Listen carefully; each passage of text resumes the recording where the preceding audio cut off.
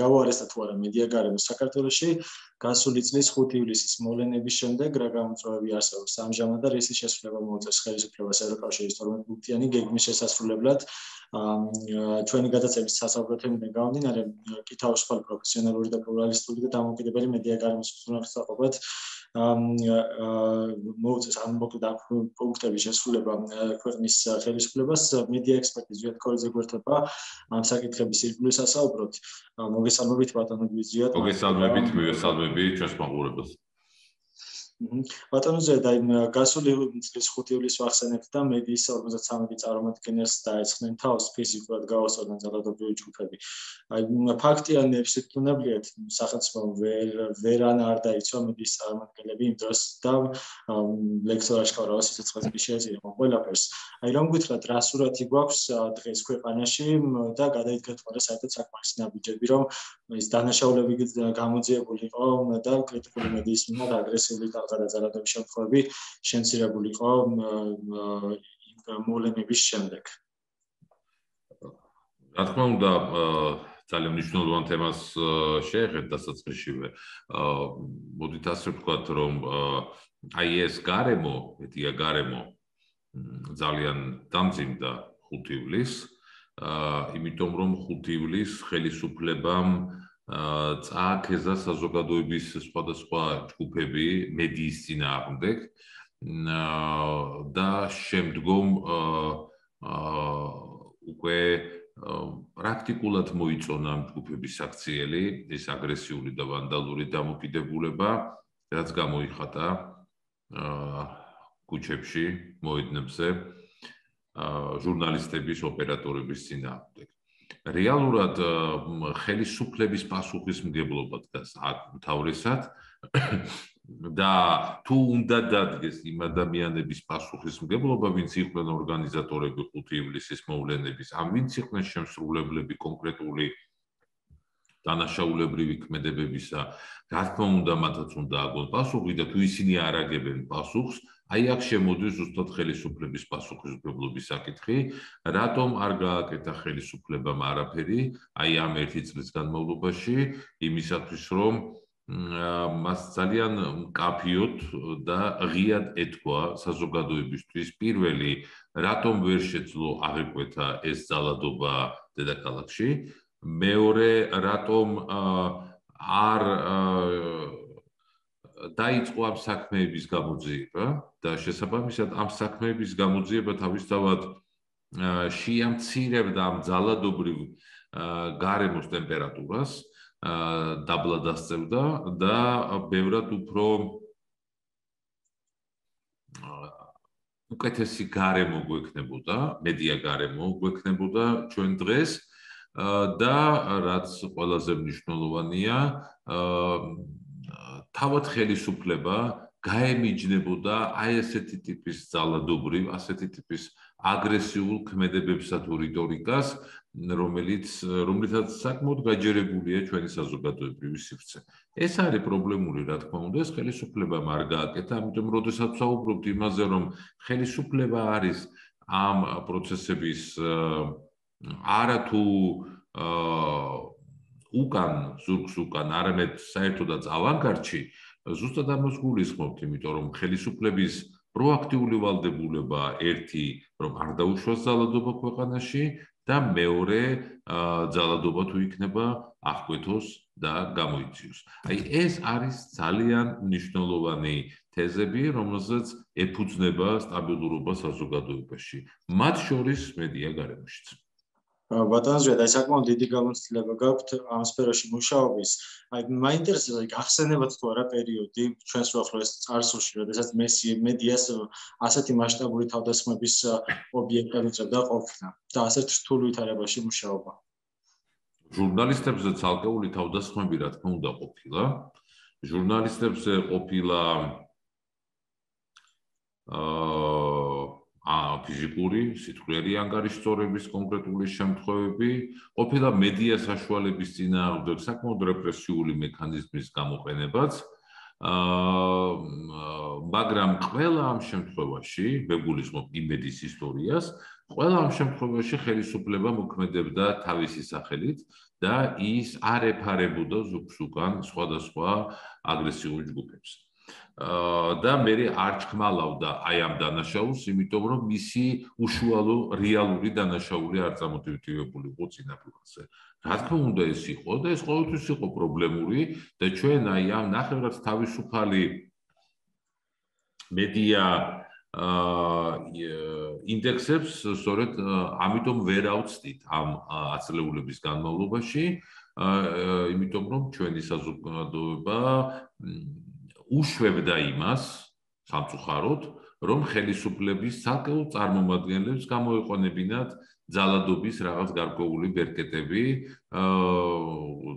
ჟურნალისტებზე ზემოქმედების ან მედია საშუალებებზე ზემოქმედების. მაგრამ ახლა რატომაც გახდა 5 ივლისი ასეთი მნიშვნელოვანი სხვათა შორის ყველა იმ ისტორიების დროსაც ჩვენ ხედავდით როგორ შეფასებებში როგორ კრიტიკულად და აფასებდნენ საქართველოს დემოკრატიულ მდგომარეობას მედიის თავისუფლების ხარისხს და ღიად შემიძლია ვთქვა რომ ეს არის რაღაც ისეთი პარაბოლური მომენტი. ავალ ზემოთ მივახცევთ რაღაცა ნიშნულს და მე ისევ ვეშვებით დაბლა უფსკრულისკენ აი 5 ივლისი არის ასეთი უფსკრული რა თქმა უნდა 7 ნოემბრის თარიღთან ერთად 2007 წლის 7 ნოემბრის როდესაც ხელისუფლებამ დაუშვა ის რომ მედია საშუალება დახურა ძალადობით აი ახლა მოხდა როგორი რამ ხელისუფლებამ პრაქტიკულად წაახალისა ჟურნალისტების წინააღმდეგ ძალადობა და ვერ აღკვეთა ეს ძალადობა. აა შედეგად რა მივიღეთ? მივიღეთ ის რომ დაზიანდნენ ჟურნალისტები, დაზიანდნენ ოპერატორები, დაზიანდა საზოგადოების უფლება რომ მიიღოთ ინფორმაცია. სწორედ ეს არის ყველაზე მნიშვნელოვანი რამ, როდესაც საუბრობენ დემოკრატიის ხარისზე და როდესაც მუდმივად ამ კონტექსტში განვიხილავთ ჩვენ მედიის თავისუფლებას, ჩვენ ასე ვსაუბრობ, მედია რატომ არ უნდა შეზღუდო, რატომ არ უნდა შეუშალო ხელი, რატომ არ უნდა დაუმალო ინფორმაცია, რატომ არ უნდა დევნიდე და ცემდე ჟურნალისტებს, რატომ რა არის შენი ამოცანა? თავარი ამოცანა არის ის, რომ ამ დროს ხელი არ შეუშალო საზოგადოებას, რომ მიიღოს ზუსტი და უთუარი ინფორმაცია. ყველას ინტერესები ამ შემთხვევაში არის ფოკუსირებული საზოგადოებაზე. და საზოგადოება არ უნდა დარჩეს ინფორმაციის გარეშე.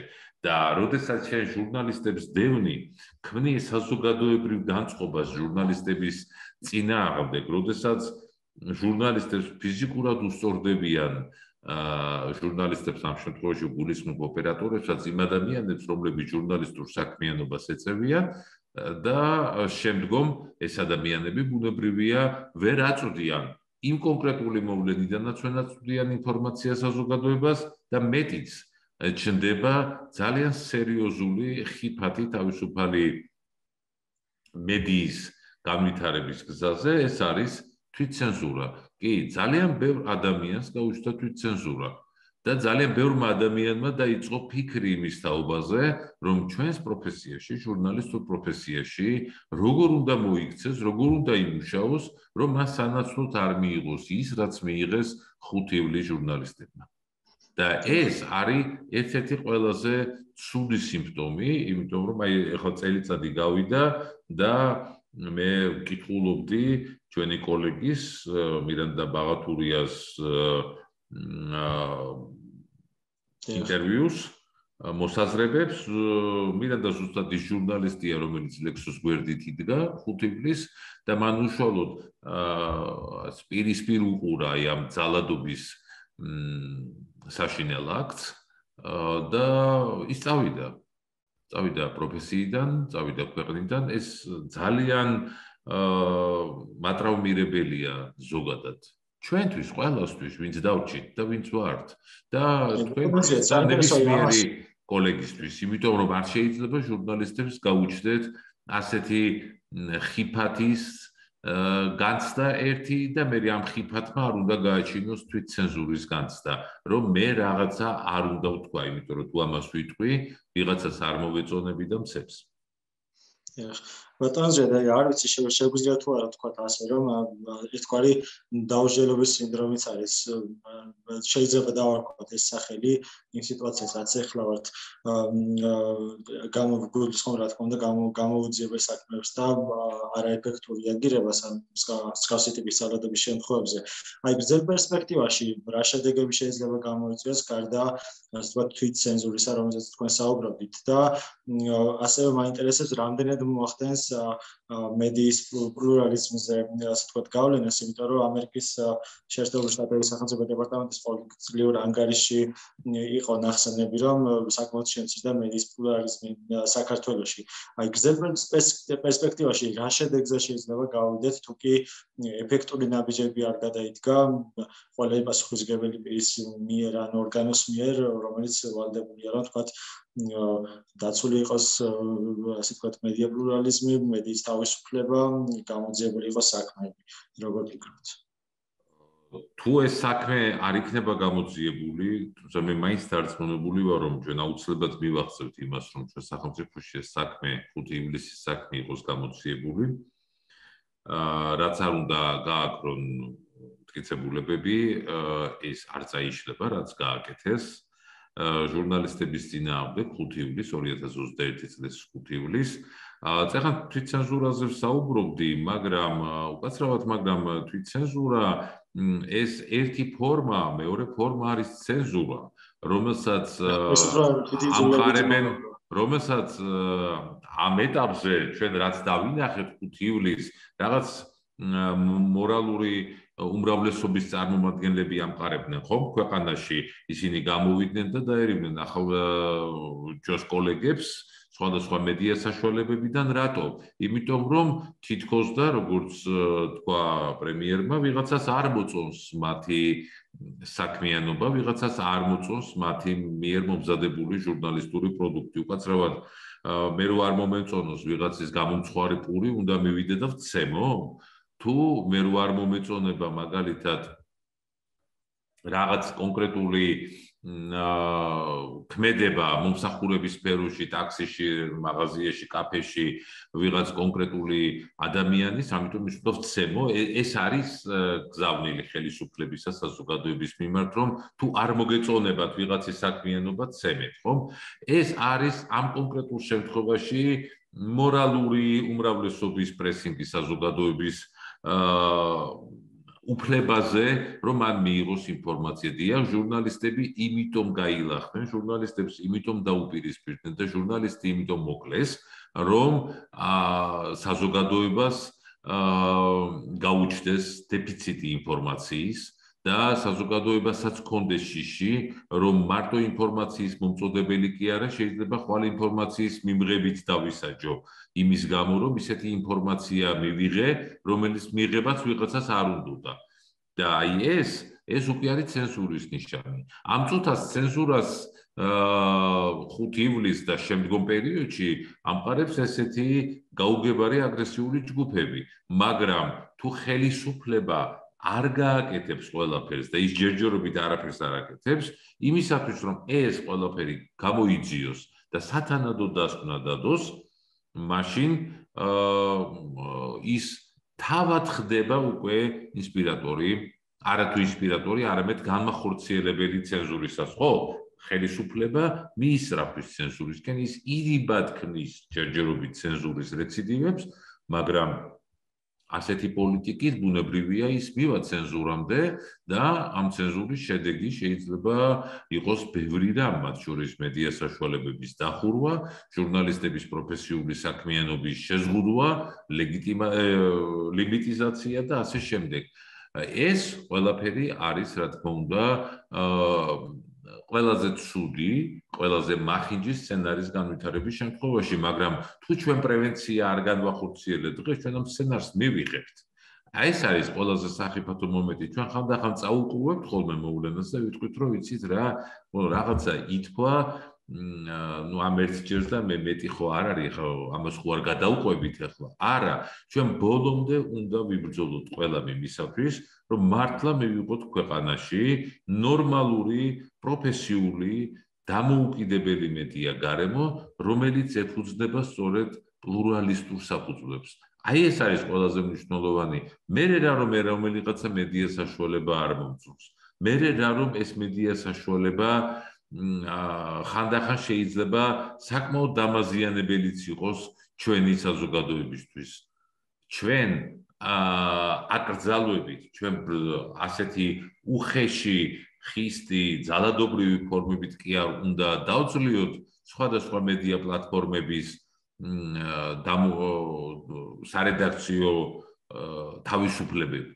არამედ ჩვენ მათ უნდა მოვერიოთ ნაღდი, უტყუარი, გადამოწმებული, მიუკერძოებელი ინფორმაციით. ჩვენ მხოლოდ ასე შეგვიძლია ვაჯობოთ აი ამ დეზინფორმაციულ მედიას და ამ ფეიქ მედიებს, ხომ?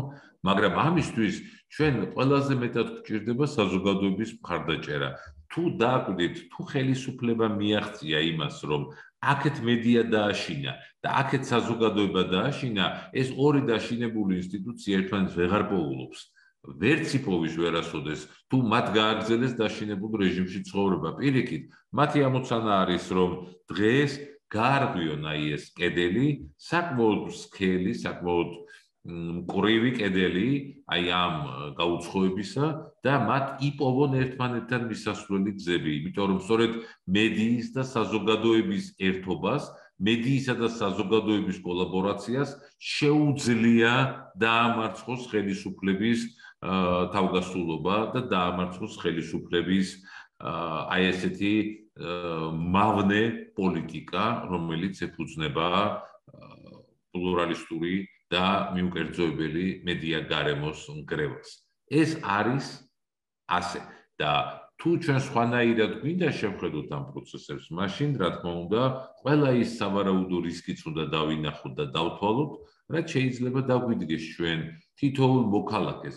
არა მარტო თქვენ ჟურნალისტებს, ჩვენ ყველას ერთად, არამედ მთელ საზოგადოებას, იმიტომ რომ თუ შეიძლება დღეს თქვენი გადაცემები შეიძლება აბრაზებდეს ვიღაცას, თქვენი მომზადებული ჟურნალისტური გამოძიებებით აბრაზებდეს ვიღაცას, მაგრამ ჯობს რომ ამ შინაარსზე გაბრაზდეს, ჯობს რომ სათანადო კითხვებზე პასუხები მიიღოს საზოგადოებამ, თორემ ერთვენიერ დღეს არაფერი აღარ იქნება თუ ხელისუფლებამ ბოლომდე წაიყვანა ეს პროცესი. ეს არის დიქტატურის ფორმულა, მეტი კი არაფერი. ჩვენ უნდა ვიფიქროთ ამაზე. მე მესმის რომ თანამედროვე ტექნოლოგიების პირობებში ეს რთული მისაღწევია, მაგრამ წარმოუდგენელი არის. ბატონოზე და მინდა ასე მოგთხოვოთ რომ შევაფასოთ და აი გუშინდელი შემთხვევა, როდესაც გიორგი ვაშაძე საზოგადოებრივი მაუწყებლის ჟურნალისტ თათა სანიკიძეს ასე თქვა საკმაოდ არასათანადო ტონით ესაუბრა სუბუქად რო თქვა აი რამდენად ასე თქვა ხშირად ხდება და ხშირად ხედავთ აგრესიული აგრესიას გამოხატვას არ მხოლოდ ასე თქვა სახელმწიფო რგოლიდან არამედ მოქალაქეების მხრიდან ოპოზიციური პარტიების მხრიდან როდესაც ისმენ კრიტიკულ კითხვებს აი რამდენად ასე თქვა შეგვიძლია ვთქვა, რომ ჟურნალისტების მიმართ ბრალდებების წაყენება და რაღაცა აგრესიული ტონით საუბარი რაღაც ერთგვარად ნორმალიზებულიც კი გახდა, იმიტომ რომ საკმაოდ მომრავლე ეს დღეს გახდა, დღეს გახდა? არა. ეს არის დიდი ხანია. ეს დიდი ხანია არის და ბუნებრივია თუ აი ასეთ რიტორიკას ამკვიდრებს რომელიმე პოლიტიკური ჯგუფი და შედეგად ის ვერ იღებს საზოგადოებისგან სათანადო რეაქციას, სათანადო პასუხს, მაშინ რა თქმა უნდა სხვა პოლიტიკურ ჯგუფსაც უჩნდება მსგავსი სურვილი და თუ ესეთი აგრესიული პოლიტიკური ჯგუფი წარმატებასაც მიაღწევს, მე სხვა პოლიტიკურ ჯგუფებს გონიათ, რომ ასეთი აგრესიული დამოკიდებულებით მედიის მიმართ, საზოგადოების სხვადასხვა ჯგუფების მიმართ, მაშინ მეც მივაღწევ წარმატებას და ამას ამკვიდრებენ, იმიტომ წარმატების ფორმულა სწორედ მდგომარეობს ამაში.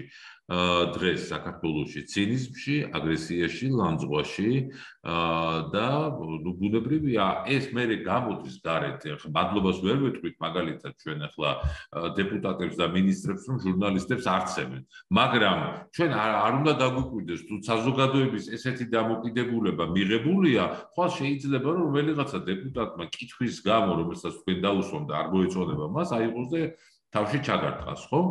გვინახავს კადრები მაგალითად მიკროფონი როგორ წაართვე ჟურნალისტს, გვინახავს კადრები როგორ არ მიაკარე ჟურნალისტი სადღაც. კი, ფიზიკური ძალადობით კი უშუალოდ არ გასწორებია რომელიმე მინისტრი ან დეპუტატი ამ ჟურნალისტს, მაგრამ დაცვა გაუსწორდა, გამოსვა გარეთ, ხელი შეუშალა, მაგრამ ხო შეიძლება ეს გააკეთოს დეპუტატმა. სადა ნუ გაგიკვირდებათ, რომ უი ამას ვერ იზამს დეპუტატი. კარგად იზამს.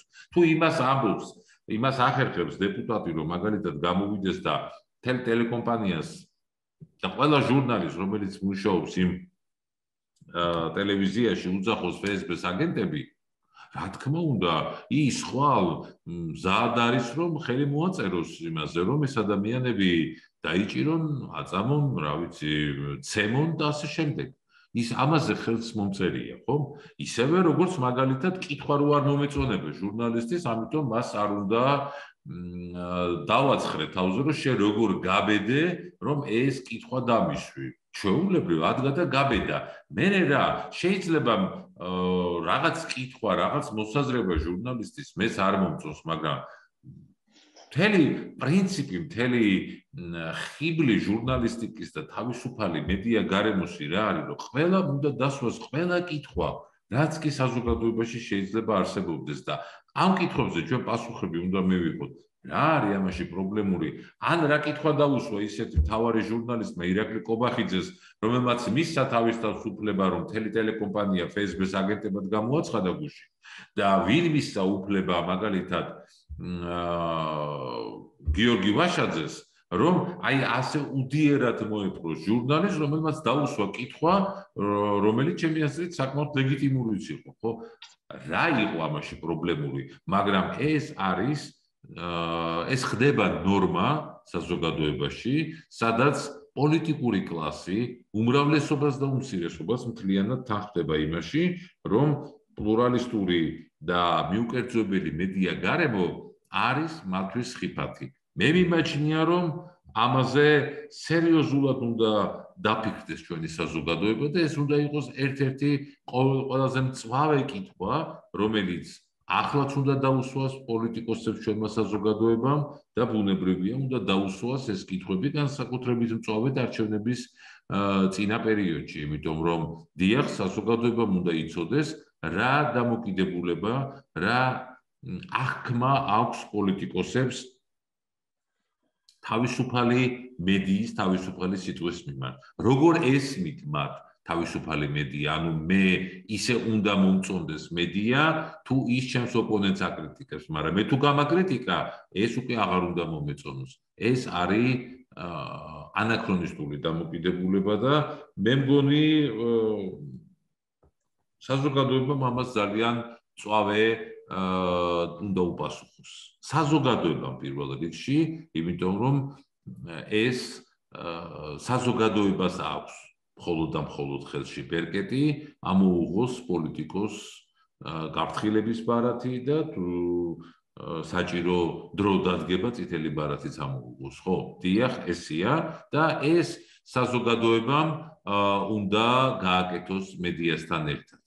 მედიას რა თქმა უნდა უნდა კონდეს თავისი პასუხისმგებლობა აა პირველ რიგში საზოგადოების წინაშე მაგრამ აა ბანდაც არის გარკვეული პრობლემები და ალბათ ეს ერთ-ერთი ყველაზე სერიოზული პრობლემაა როდესაც აა გვესაუბრებიან ჩვენ ჩვენი ევროპელი კოლეგები იმასთან დაკავშირებით, რომ როგორ მივიღოთ თავისუფალი პოლიტიკური გავლენებისგანაც მათ შორის თავისუფალი და პლურალისტური მედია გარემო და რამდენად არის ეს მნიშვნელოვანი საქართველოს ევროპული განვითარებისთვის, ბუნებრივია ასეთ შემთხვევაში პოლიტიკური წნეხი, პოლიტიკური გავლენა სხვადასხვა ჯგუფებისა მედია საშუალებებზე აღარ უნდა იყოს ერთი და ასეთი მედია საშუალება იქნება ყველაზე სერიოზული და ყველაზე სანდო პარტნიორი ჩვენი საზოგადოებისთვის.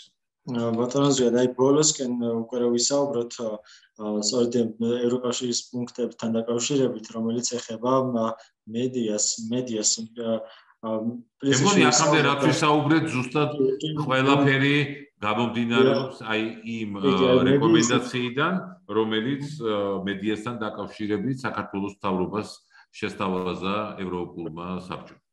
ეხლა ჩემი კითხვა უფრო ფორმულირება მინდა ასე გავაკეთო რომ რამდენად აქვს ესე ვთქვათ დღევანდელ ხელისუფლებას რამდენად ხედავთ იმის მზაობას რომ ეს პუნქტები მეტნაკლებად მაინც შეასრულოს და რამდენად ასე ვთქვათ შესრულებადია ეს პუნქტი რომელიც მედიას ეხება იმ დროის მონაკვეთში, რა დროის მონაკვეთსაც საუბრობთ, რომ ეს ფიქრებინა შესრულდეს. აი დღევანდელი სიტუაციის დღევანდელი გადასახადი რამდენად აქვს რესურსი დღევანდელი ხელისუფლებას რამდენად ექნება ნება, რომ მოდით ასე ვთქვათ, თუ ქართულ საზოგადოებას უნდა ევროპული განვითარება და ყოველ შემთხვევაში ბოლო კვირების განმავლობაში ეს ღიად გამოხატა ქართულმა საზოგადოებამ, რომ მას ეს უნდა და გამოხატა ეს ვთქვათ თვალსაჩინო ფორმით, მაგრამ ეს ბევრჯერ აქვს გამოხატული ქართულ საზოგადოებას სხვადასხვა სოციოლოგიურ კვლევაში, ბევრჯერ აქვს გამოხატული ეს პლებისციტზე და სხვა საჯარო გამოკითხვებში ასე რომ კითხვის ნიშანი ამაზე რომ საქართველოს საზოგადოებას ქართულ სახელმწიფოს უნდა ევროინტეგრაცია არ დგას ეს არც ხელისუფლების რიტორიკაში მდგარა აქამდე მაგრამ ყველაზე კრიტიკულ სიტუაციაში ჩვენ დავინახეთ რომ ხელისუფლებამ ამ პროცესს უგანა და წავიდა სხვა მიმართულებით და რეალურად დააზიანა საქართველოს სასიცოცხლო ინტერესები რაც მდგომარეობს იმაში რომ ჩვენ არ დავკარგოთ ევროპული პერსპექტივის ევროპული განვითარების შანსი. არ გულისხმობ იმ სტატუსს რომელიც მივიღეთ ხო ევროპული პერსპექტივის მე გულისხმობ რეალურად ევროპულ პერსპექტივას. არა ფორმალურად სტატუსს არამედ სწორედაც კანდიდატის სტატუსს შემდგომ წევრობას იმ ევროპულ ერთიან ოჯახში რომელსკენაც ჩვენ გვიდა რომ წავიდეთ. მაგრამ აი ამისი მიღწევა ბუნებრივია არის ხელისუფლების არა ნება არამედ ვალდებულება. ეს ხელისუფლება უნდა გააკეთოს. მას ეს ავალია ქართული საზოგადოებიდან მას ამას ავალებს საქართველოს კონსტიტუცია მან ეს უნდა გააკეთოს. თუ მას ამის გაკეთების შნო არ აქვს მაშინ მან უნდა დადოს მანდატი ეს ასია სხვანაირად ეს არასოდეს არ ყოფილა და არსად არ ყოფილა. მაგრამ თუ შენ აი ამ წინაღობას აჩენ და პრაქტიკულად სამთავრობა შეიძლება დაუდგეს წინაღობად ქართულ საზოგადოებას და ქართულ სახელმწიფოს რომ ევროინტეგრაციის გზაზე ესეთი მნიშვნელოვანი სტატუსი შეიძინოს ჩვენმა სახელმწიფომ, მაშინ ბუნებრივია აქ უკვე რეაქცია ექნება ქართულ საზოგადოებას და ეს ყველაფერი ძალიან ღიად და მკაფიოდ უნდა გამოხატოს ქართულმა მედიამ. ქართულმა მედიამ უნდა აჩვენოს საზოგადოების რეალური განწყობები, რაში მდგომარეობს იგი და რა უნდა როგორ უნდა მიაღწიოს ამ თავის სანუკვარ ბიზნეს ქართულმა საზოგადოებამ. მადლობა. ჩვენს მაყურებელს შევახსენებ, რომ საუბრობთ საქართველოს არსებულ მედია გარემოზე, გამოწვევებზე, პრობლემებზე და ასევე მოგვარების გზებზე. და ამ საკითხების ირგვლივ სასაუბრად გვერდებოდა მედია ექსპერტი ზვიად ქოლიძე. კიდევ ერთხელ ძალიან დიდი მადლობა. დიდი მადლობა. აგვისტოს. საგამშვიდობებით ნახვამდის.